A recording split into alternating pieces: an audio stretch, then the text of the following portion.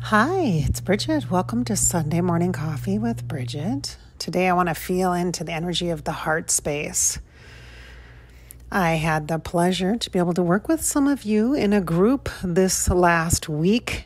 Again, yet again, once a month, I've been doing psychic groups where we're doing um, psychic readings in a, in a group setting via Zoom, and it's been pretty interesting. In this last week, it was it was a beautiful connective experience where people were able to really feel into that heart space and move through or move forward with some of the energy around relief in regards to loss, in regards to grief of all different kinds of grief. And it felt, I personally felt very honored to be able to be in that sacred heart space with all of those folks. And I look forward to connecting again in August in the group setting as well.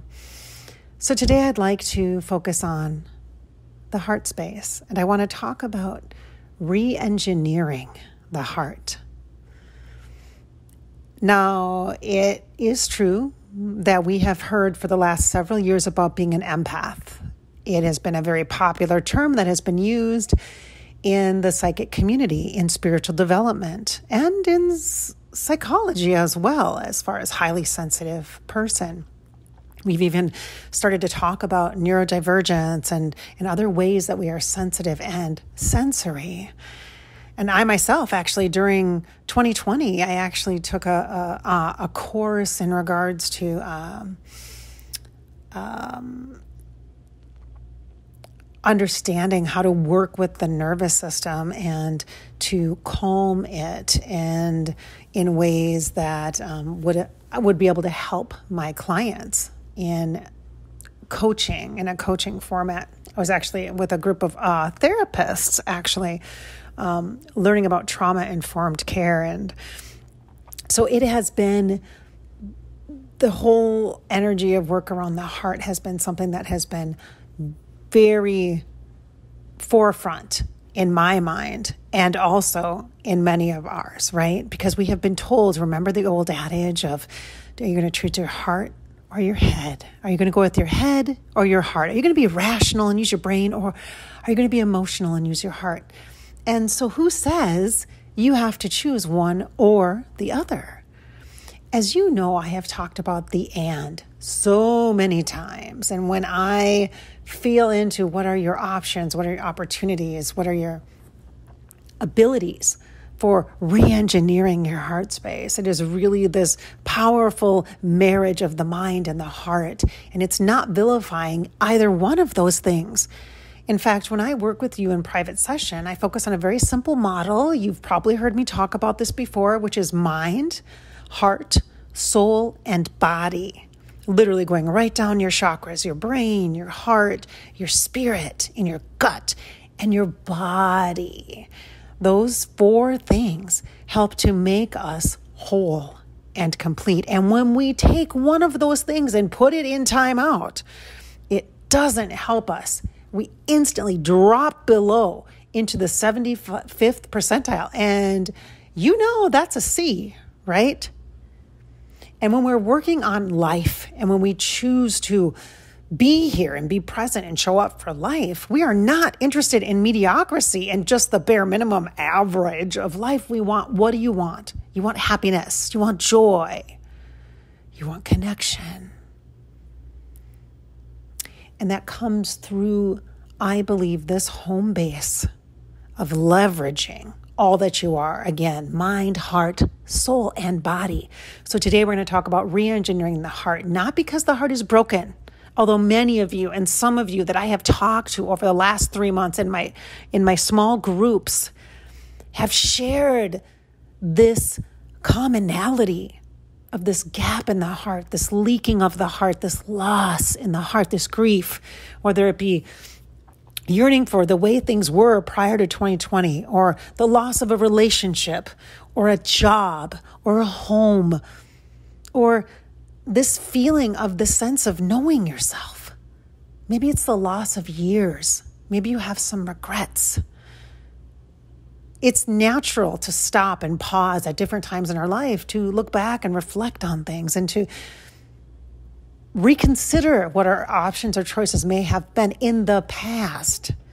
But when we look at this epicenter of our heart space, this is the place that we recreate, we reconnect our truest, most vibrant life source power. And yeah, I'm really impassionate about this because I feel like re energizing, recalibrating our hearts is exactly what needs to happen right here and right now. And it's not about choosing one part of ourselves over the other, it's not about putting the mind and your ego on the back burner. It is not about that. It is about bringing yourself to the center and welcoming all of you into into the room, into the big meeting to sit around the table at the center of your heart for that family dinner. Metaphorically speaking, what parts of you have empty chairs at that table? Really feel into that for a moment. It's time to allow yourself to reimagine how you will proceed now, moving forward from today and moving forward, right here in this now moment. The simplest way to begin to re engineer your life is to feel into your heart, to sit at the head of the table, and to begin by showing up. Sit in the chair. Be seated. Have your root chakra connected to the earth, to the energy of Gaia, of the divine feminine, of the powerful, important moment of the now, the present. It does not help you to look back over the past and long for what once was, or to consider all the other scenarios you could have chosen. Then you have to give yourself permission to let that go. Let the past die. Let it be buried to return to ash, to return to the earth, and then focus on the now moment.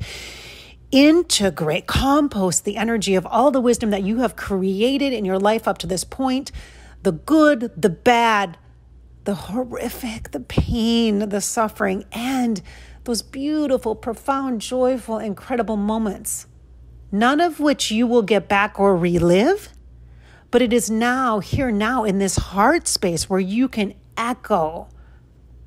You can echo the energy of the memories that are profound and positive and hopeful to reignite the inspiration that already lives inside you, to reinvigorate you, to light that candle again of your soul, to, to bring the passion back into your physical body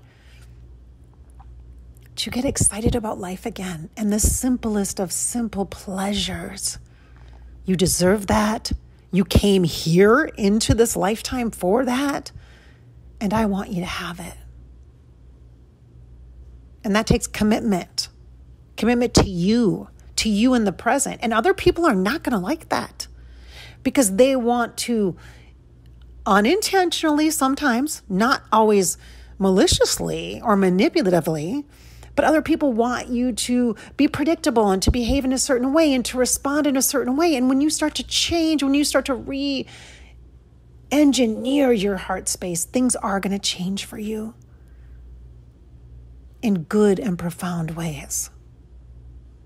You are going to discover new and beautiful parts of yourself that you've forgotten about from when you were a little kid because you're going to be safe because you're going to be in the context of your heart space and you are going to be recreating. In fact, I'm I see this imagery of Legos. Anybody ever play Legos?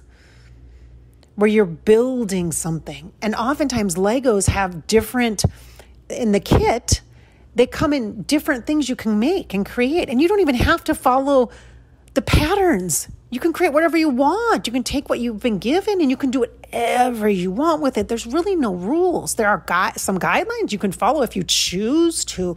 But again, in your heart space, re engineering your heart will help you to deeply and more fully and more purely connect with yourself. And in doing that, then you can have real, authentic relationships with other people. I'm talking ones that matter, not the fake ones, not the continued ones that are relying on predictability and just old patterns and people you don't even really like anymore and the first and ugh, really?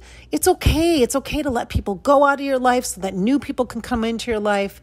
You don't even have to you don't have to go through a list of people and make a cut or make a choice or anything like that. Life will present that to you and you get to be present for that it's natural. It's change. It's evolution. It's evolving. It's growth. And it's embracing the present, being here to receive all that you've been gifted. But you can't do that when you're constantly looking backwards at the past. So I invite you to step into your heart space right here and right now as a proud wisdom center of all that you are and all that you've been as you are becoming more in alignment with the truest, most beautiful version of yourself. Your sacred self, your empowered self, your bold, emboldened self as you re engineer your heart space. This is Bridgette. Thank you for listening here on Above Life channel to our Sunday morning coffee podcast. You can find find this podcast every week here. Sometimes it's audio, sometimes it's video, sometimes it's live streaming. And I'll see you on Monday for our weekly channeling with an afterlife celebrity guest. I hope I've inspired your spirit today, filled you with some hope, and encouraged you to live your life. This is your life after all, and you get to live it. Just live it. Thanks for being here.